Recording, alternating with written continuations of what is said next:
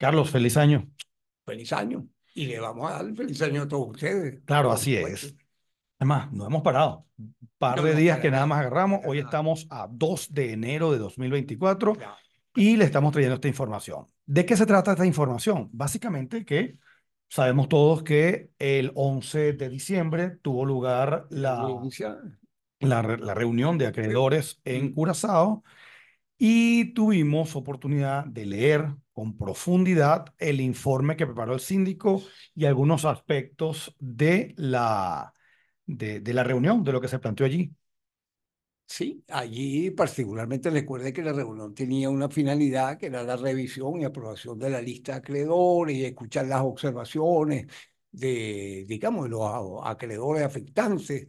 Em, allí también se tocó, aunque no era tema, pero se tocó y se dejó muy buen planteado y tuvo peso de alguna forma los dos escritos que hemos consignado ante el Tribunal de la Quiebra, lo que se refiere a esa propuesta de pago que formuló el grupo carteras, es decir, el grupo BOD, el grupo Las eh, de lo que carteras, los acciones inter- venezolanas, etcétera.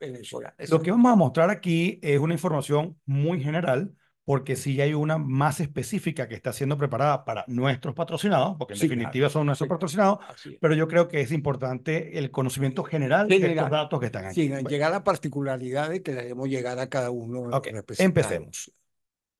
Básicamente, y esto es importante tener esta torta, ¿no? Sí. Porque aquí vamos a ver, aunque no se parezca, allí hay tres sectores. Lo que pasa es que uno es muy chiquitico, que son los gastos de, de, la, de la quiebra, lo que se debe. Es Sí, decir, lo- la- los empleados que están utilizándose para esa, esa La, mención. la creencia privilegiada que Ok. toda quiebra hay es necesario afrontarla en primer lugar. Luego duda. tenemos este verde que está aquí, Ujú. que son las personas que presentaron ellos mismos sin abogado su acreencia Sí, y está reconocida, Es seguramente les correcto, es llegó. Eso. Carentes representantes Claro. de ellos, de modo propio presentaron y fueron registrados. que ya vamos a hablar también de eso un poquito. Y este, de esta parte grande y amplia es aquellos que están presentados por abogados. Sí, los, De sí. nosotros, los otros, de otros abogados, otras firmas aquí, de. Curazao, de Aruba, de Ámsterdam, etc. 19, 20 que estuvimos allí, correcto. Y aquí algo de los números. Ve como tenemos aquí 28 personas que son las que pagan, Sí, claro. que sería el 1,15%, que son 609 mil eh, dólares, 609 mil 329, que es el 0,07%. El grupo grande que estábamos hablando, que son 1.842 personas Sí, claro. y que representan esos 687 millones de dólares, un poco más. Este grupo de 571 personas que presentaron directamente sus acreencias sin abogados Así es. y da un total de, bueno, 200, 2.441 Así es. por ese monto que es el que se es. está, digamos, extrayendo de lo que se debe, las creencias. 823 Eh, millones y un poquito. Resalta en este punto que esas 1.842 personas representan el porcentaje significativo en esa gran torta que señalaste Para la toma de decisiones, porque esto va a ir para comité, para reunión de acreedores. que ¿ok? allí están representados todas las personas, mejor dicho, esas 1.842 personas son representadas. Con abogados, nosotros y otros abogados varios y otros Y representantes. a eso vamos ahorita. Ok, vamos entonces. Importante antes de que pasemos a lo último. Si usted está dentro de estas 571 personas, es decir, aquellos que presentaron sus acreencias directamente, no con abogados, vamos a preparar un contenido, un video específicamente para estos casos, un video privado.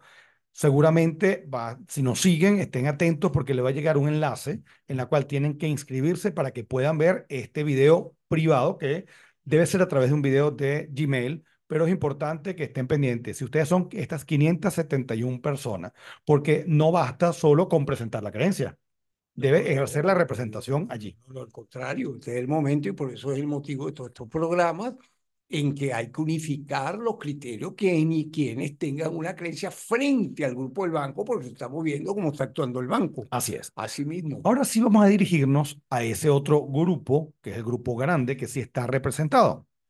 Estos que están aquí. Tenemos esta torta que señala y nos da una gráfica, una idea del detalle de acreedores representados por abogados, ordenado por cantidad de personas. Todos esos numeritos, hay abogados que representan a una sola persona, dos personas, tres personas, y ahí tenemos toda esta torta. Por supuesto, y vemos que el mayor es 1.136 personas. Ahora vamos al cuadro siguiente, que es la misma torta, pero ya no por número de representados, sino por cantidad de dinero. Ujú. Todo esto lo tenemos nosotros y se lo hacemos llegar a nuestros representados con el detalle y otra información adicional. Esta sí es de información general. Y vemos cómo se mantiene igualmente una porción muy grande de estos 517 millones de dólares. Lo estás Claro, viendo, ¿no? claro, ahí estamos incluyendo, mejor dicho, lo que, vamos a decirlo de esta manera, han presentado un grupo interesado, que es otro grupo, que es el Grupo Cartera, el Grupo BOD, al tribunal, y ahí está incluido a creencia, por ejemplo, del Boy Bank, quitémosle el bank, ya hemos hablado, porque a Del la BOI. fecha sigue siendo Boy solamente una empresa jurídica, pero que no actúa como banco.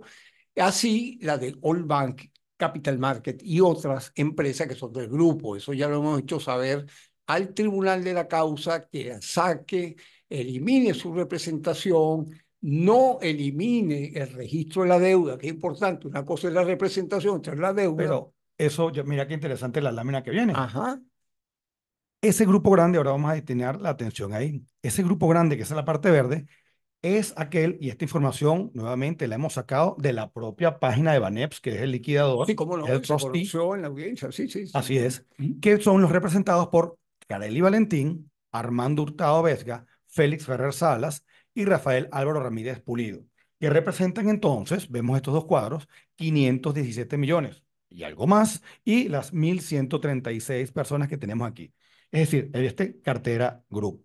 Importante aquí, tenemos también un contenido específicamente desarrollado en un video y, un- y una parte escrita para estas personas que firmaron allí. Si han visto nuestros, nuestros este, Programas anteriores. ven que hemos, este, nos hemos dirigido también al tribunal a, a impugnar porque hay unas razones que están explicadas en ese contenido específico que nuevamente estén atentos porque les va a llegar un enlace para que lo puedan llenar, para que puedan tener acceso a ese contenido que nos vamos a desarrollarlo a profundidad aquí, Yo, yo- porque yo- es para, para ustedes nada más. complementando el, el orden de ideas que estamos desarrollando, hay que decir que la aprobación o el rechazo de la propuesta de pago tiene que ver con las votaciones que habrá en una, en una reunión que tendrá lugar el 27 de mayo del 2024, donde obviamente se contarán los votos. Detrás de todos estos mandatos, lo que está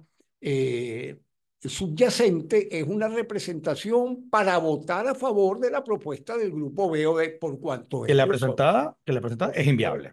Por supuesto. Importante también aquí tener pendiente y tener en mente este, esto que hemos venido desarrollando para que vean todo nuestro, nuestro, nuestro canal, Sí, sí, claro. Para que luego eh, puedan entender de manera más clara este caso, porque nuestra aproximación, si bien es principalmente jurídica, tenemos la asistencia de personal desde el punto de vista Financiero. financiero. como esa ¿ok? otra. Aquí hay, aquí hay temas, elementos financieros que hay que también tomar en cuenta, tan o más importante que la parte jurídica, dependiendo de cómo lo vamos a abordar. Claro, así es. Eso nos lleva también a la parte del mandato, porque si usted firmó este tipo de mandato, este, esté pendiente porque tenemos un, un contenido especialmente para usted. Así como también tenemos un contenido especial para la gente que tiene Boy. las cuentas en el Boy Bank. Porque si bien es interesante, y quiero que, que, que desarrolles tú esto un poquito, no tanto porque va a ser para las personas que tengan, digamos, depósitos en el Boy Bank, que si bien este caso está llevándose en Curazao, Boy Bank es acreedor Sí, claro. también allí.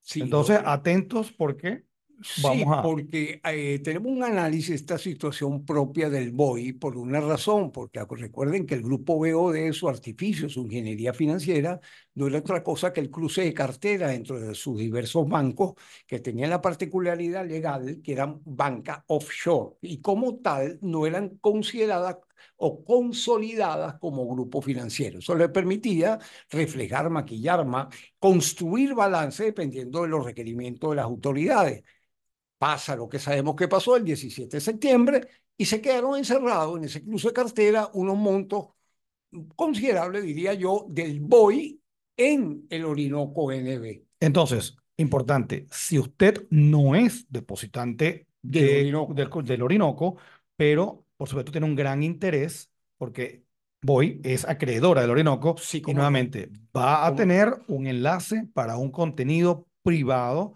preparado exclusivamente o teniendo como norte a esos depositantes del BOI. Carlos, yo creo que estamos arrancando el año este, Eh, encendidos, sí, porque andamos con... un cronograma de trabajo que vamos a tratar de cumplirlo en profundidad, en digamos, yo creo, creo que en el desarrollo, los primeros 20 días de enero, vamos a haber realizado todo este tipo de cosas, porque recordamos, recordamos principalmente esas 571 personas que se les registró su deuda, no ha terminado. Por el contrario, viene el momento de hacer valer esos derechos que ya dieron su primer paso pero son derechos que se tienen que hacer valer en una segunda reunión que tendrá lugar el 27 de mayo del 2024 y ustedes estén claros, ustedes estén claros en por qué deben aprobar o deben rechazar la propuesta del grupo BOD. Pero más que eso, hagan presencia en la reunión o si prefieren, háganse representar por personas que cumplan su cometido. Hasta el momento hay unos están en otro lote, que han suscrito contratos de buena fe con un grupo de representantes del propio generador de crisis, que es el grupo BOD, a través de sus accionistas, que son carteras de inversiones venezolanas, sea, y el, y el Banco eh, Occidental de Descuento, que son los únicos dos accionistas del Orinoco, han generado todo, pero ahora quieren ellos hacerse representar, hasta el momento representan la mayor, mayor número de acreencias y de monto, y quieren hacer valer todo eso en una asamblea. Y como hemos dicho en todos nuestros contenidos, todos nuestros videos, no tiene por qué ser nosotros. Dirigido a estas 571 Exactamente. personas. Busquen un abogado, contáctenos, díganle a su abogado si quiere que nos contacten, que vean nuestro contenido y vayan con ellos. Y por supuesto, estamos a la orden si quieren saber más de nosotros. Pero que ni ustedes ni los representantes que seleccionen estén ausentes en esa asamblea. Eso es importantísimo, en esa reunión que tendrá el 27 de mayo de 2024. Y también entonces, ya con lo que dices, podemos también dirigirnos a aquellas personas que están siendo representadas por abogados, reúnanse con ellos, más si fueron y si asistieron a Claro, Curazao, Mucho fueron. que, le- que les comenten cuáles fueron los contenidos, este, qué es lo que se pretende aquí. Surgió la formación de un grupo de apoyo a la, a la Sí. comité de acreedores eh, y vamos a, a- a aportar las investigaciones y, las, y los, los hallazgos que hemos tenido. más importante para completar tu idea es que cada uno de ustedes le exijan a su representante, hágame saber cuál fue la propuesta que presentó el grupo Cartela, es decir, el grupo BOD. Hágame saber qué opinión tiene usted sobre esa propuesta. Hágame saber si es conveniente que yo apruebe o desapruebe. Deme su criterio. Y sobre todo, comprométase usted a que usted va a decir en esa asamblea si yo voto sí o si voto no. Pero eso es necesario conocer, lo repetimos. Bueno, nos despedimos. eh, feliz 2024. La, la, está la brega está empezando y seguimos. Seguimos, aquí estamos. Hasta luego.